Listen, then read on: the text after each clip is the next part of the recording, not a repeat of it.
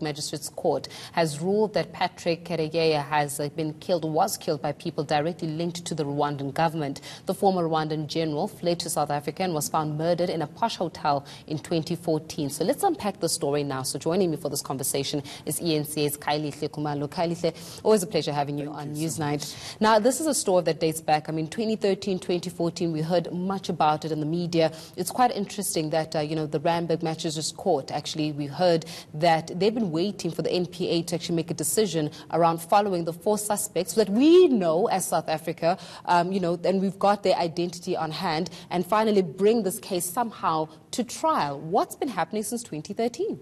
So it's a very protracted battle, like you say, Faith. So today we got an opportunity of speaking to the widows, so really expressing uh, their sheer delight in light of the developments uh, at the Randburg Magistrate Court. Mm. So uh, there's quite a lot at play here because we know that South Africa and Rwanda, they have very frosty uh, bilateral relations, especially after 2014. We know that a very bold step was taken by the two countries where diplomats were recalled in two capitals in Pretoria and Kigali. So even now to this point, and mainly because the argument was that South Africa is harboring dissidents. So even, um, you know, the late uh, Colonel Karegeya is categorized as a dissident in Kigali. So it's an issue really that has been ongoing for some time. Yeah. But from the side of the widow, they are saying from their side they're extremely excited uh, now that the magistrate has indicated that now the National Prosecuting Authority must go back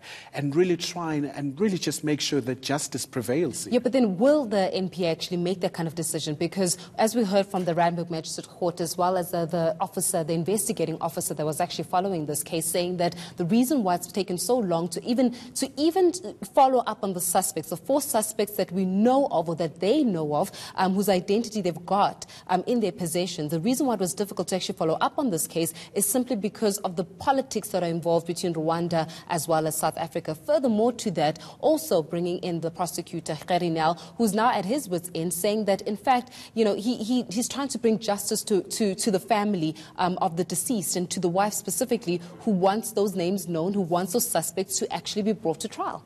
Well, undoubtedly, it's going to be a massive challenge because, so when you look at South Africa and Rwanda, they don't have extradition treaties. So that mm. could have been easily to try and extradite the four suspects.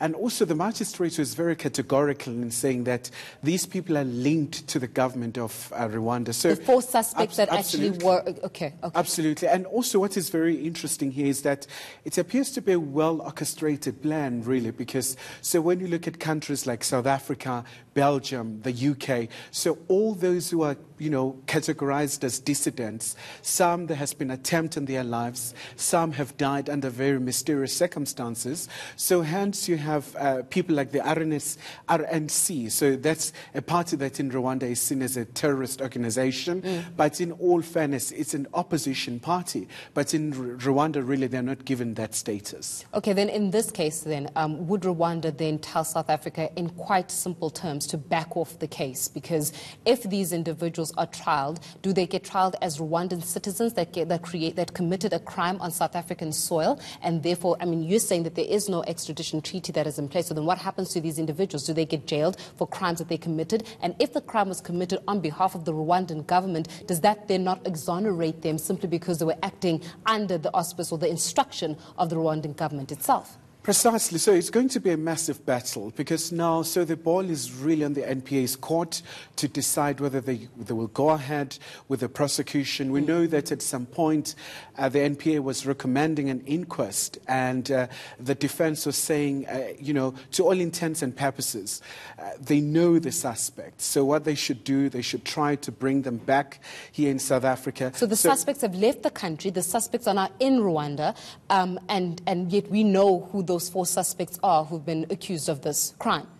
So we do know the suspect. We know the identities. There's a CCTV footage that was sourced from uh, the Posh Hotel here in Johannesburg. So it's really going to be a complex situation, Faith, because we know that a lot of business people between the two countries, for example, have been struggling in getting visas. So there has been a commitment from the side of President Cyril Ramaphosa that they are prioritizing this issue. Mm. But now, at this point, one of the main challenges, for example, to get a reaction from the South African authorities. They're really not forthcoming with the information. So we've really been battling to try and source their reaction in light of the developments at the Randburg Magistrate Court, where uh, the magistrate was very strict in saying, listen, uh, the NPA really must make sure that justice prevails here. But at it's the expense, really, if you look at justice prevailing, might just be at the expense of uh, relations or bilateral relations between Rwanda as well as South Africa, already adding to in a frosty uh, relationship and not an excuse, obviously, for making individuals walk away who committed a